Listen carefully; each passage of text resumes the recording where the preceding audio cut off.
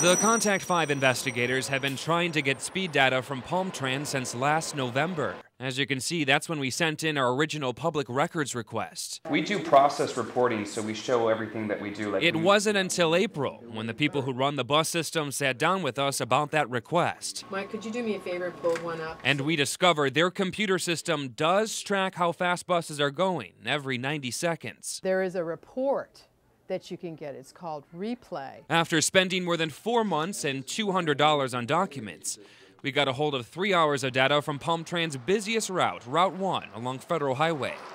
Next to each speed, there's a latitude and longitude that shows where that speed was recorded.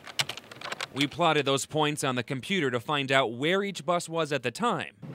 And we hit the road to match those locations to the speed limits on Route 1 to determine if the buses were following the speed limit. That led us to discovering 15 out of 19 buses during that time period were speeding, according to the data, at some point on the route. Do you look at speed reports daily? No.